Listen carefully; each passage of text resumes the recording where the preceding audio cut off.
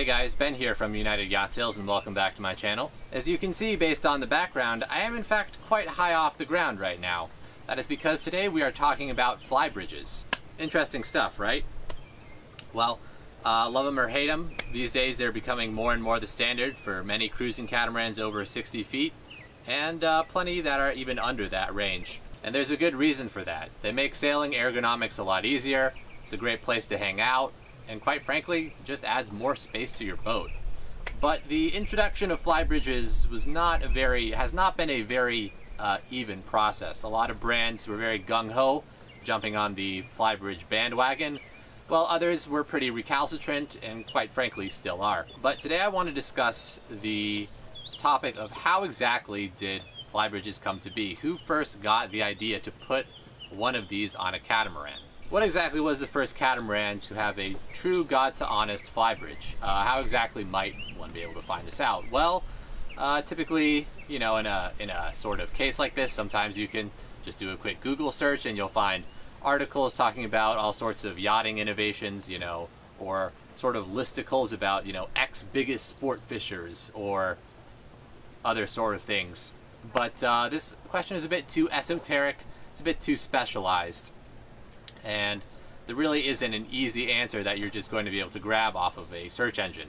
So instead we're going to switch, we are going to reach for the handy dandy yacht broker Swiss Army knife, the Sold Boats database. Alright, now what exactly is this Sold Boats thing I keep mentioning? Well, basically if you pay for it, it just allows you to see archived but not withdrawn Yacht World listings. Ostensibly, the main purpose is to provide clients with up-to-date information on the selling prices of like yachts, but I mean, you can use it for all sorts of interesting things. Uh, you can estimate past production volumes on boats if the data isn't readily available. Uh, you can probe for the timing of future charter company listings. You can even track individual yachts as long as the listing broker correctly records the name over time. So yes, it's a pretty neat tool, though it's not exactly a crystal ball. There are some limitations. First, it only goes back to the year 2000 or so. Second, it only records boats from brokerages that actually use the Yacht World MLS. And believe me, there are brokerages that straight up just do not use that. That, however, is a story for a different video. And third, sometimes brokers, much to my chagrin, omit certain sales if the client requests so for a reason. So it's not perfect, but in situations like these, I'm often reminded of the old joke regarding the drunk guy looking for his keys. A man is walking down a street and spots a guy digging through some snow. He stops and asks, What are you looking for? The man says, I lost my keys. The other man says, Well, where'd you lose them? He says, In the alley over there. He says, Well, why are you out on the street? The man responds, Well, this is where the light is. So getting back on track here, what exactly was the first catamaran to have a flybridge? Well, you might be tempted to say the Lagoon 440 or maybe actually the Leopard 62. And those are both good answers, but they're not the real ones. Lagoon 440 was the first catamaran to have a flybridge under 50 feet. And the Leopard 62 was the first production boat to have a flybridge. But they're not actually the first boats to have flybridges. Doing this search is actually pretty simple. We're just going to use the keyword flybridge and then filter by class catamaran, class multi-hull, and then sort by the year oldest. And voila! The answer is obviously the Leopard 62, the Leopard 62, and the Leopard 62. Yep, everything looks good except for this intruder at the top of the list. Or is it just an error of some kind?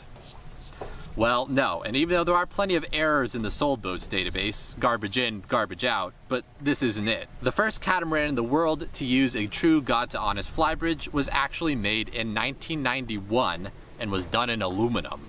Yup. As such, I went on to do some more research only to discover that actually this boat is back for sale on the market today. And the listing agent, Alexi, was gracious enough to provide me with some updated photos of her condition that we can examine her more thoroughly in detail.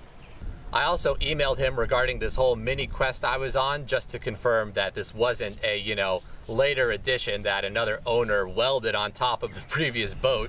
And he could confirm that yes, back in 1991, at La Rochelle, he saw the boat new at a boat show. Well, 30 years later, he's now in charge of selling the boat. Time is indeed circular. Also, as much as I'd like to show you some God to honest actual footage instead of photos, this boat is in France and I am decidedly not. So this will just have to be the format going forward. Not much can be done about it. It's just the nature of the beast. As a side note, this boat was done in aluminum, which is not unheard of for a catamaran, but it is a bit strange.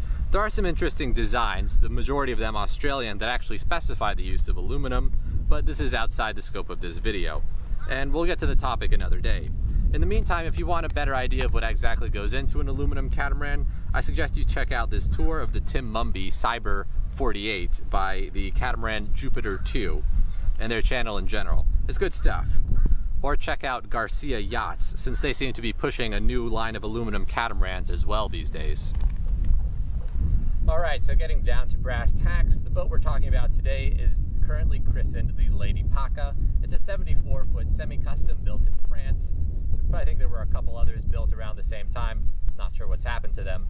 But yeah, at, uh, at 74 feet, it's a big boat, and I think back in the early 90s, that was just positively ginormous. I mean, uh, large, the market for large catamarans is not what it was today 30 years ago. Examining the flybridge, which is what I originally came for, it's pretty similar actually to the Leopard 62. You have kind of a recessed helm area, and then the rest of the deck is aft of that. But it is a pretty big deck. You know, it's not like a a sort of a fancy fly bridge like we see on this Sunreef, but uh, it's more like bring your own furniture and chill there. But you can definitely see the genesis of the idea, which is where it counts. So heading down cockpit-wise, it's also pretty interesting as well. You've got these nice sort of solid beams holding up the flybridge that make up the hardtop. And it, it is really interesting to think that this boat is almost kind of like a proto-Sunreef, which is pretty insane when you think about it, because Sunreef wouldn't exist until at least about a decade after that boat was built. And Sunreef also did start out building in aluminum as well, although I think quite wisely they've switched to uh, more standard composites. So on the interior, things get a little interesting because you have nine, yep, count them, nine cabins. Uh, I don't have a layout diagram, so apologies for that, but the way I've heard the layout described, it's you have two cabins forward, then four cabins on the other side, three on the other, and a galley down. So Boat can sleep up to 19 passengers, which is pretty cool. So yeah, given that this is a, intended to be a professional crewed yacht, it is galley down, so all the current seating in the salon area is dedicated to uh, settees and such. As far as the actual interior condition, I think it's pretty much going to be a complete remodel job. Um, the interior is pretty old. It basically needs to be ripped out and redone. One good thing about this boat being aluminum is that you do have a lot of freedom in rearranging the non-structural stuff. If you don't like something, basically just cut it and weld new stuff. I mean, uh, you could really go wild with the interior of this boat. You could get rid of a couple of cabins and make like a big owner suite or add like a galley up. Um, you know, it is going to cost you a pretty penny, but uh, the way I'd like to think of boats like these is that it's really more of a blank canvas. Uh, you can just sort of make it whatever you want and not feel too bad about ripping out anything fancy.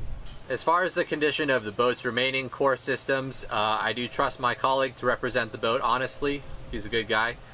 And uh, it's pretty much going to need new engines, new batteries, new gensets, uh, I mean new sails, basically all the core systems are going to need to be replaced. And as is inevitable, plenty of other things will come up as well once you start taking things apart. Still, I, I don't dislike the boat. I think for someone who's looking for like an expedition yacht that doesn't necessarily have all of the, you know, the fanciest bells and whistles, it could be an interesting project.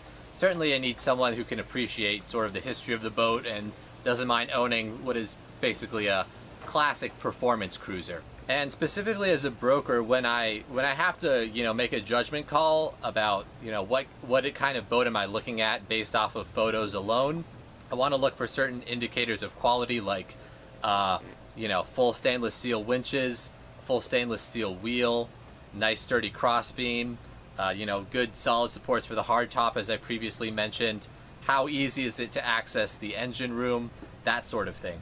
Now, I'm not recommending this as an actual offer for the boat, but theoretically, if you paid er, in and around the neighborhood of half a million dollars for the boat, I would say set aside at least 100% of the purchase price to be put toward refit costs, at least for basic seaworthiness.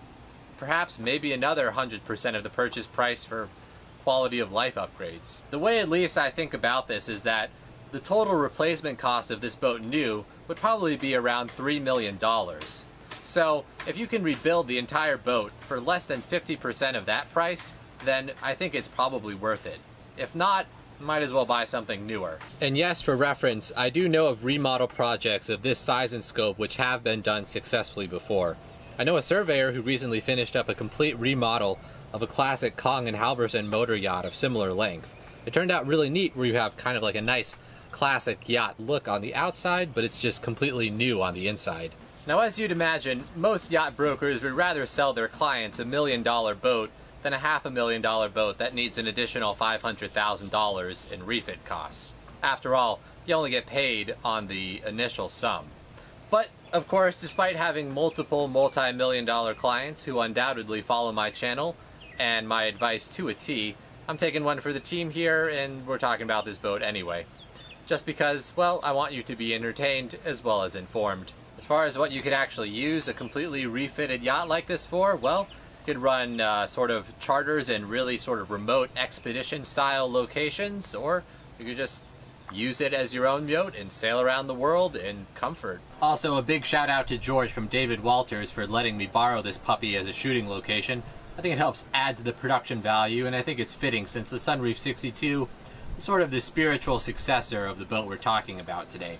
It was one of the first Sunreefs ever designed and built. Alright, so that's going to wrap it up for this video. Uh, unless someone wants to come forward with an even weirder catamaran that predates this one, uh, I think that's going to close the books on that question. Uh, as always, thanks for watching.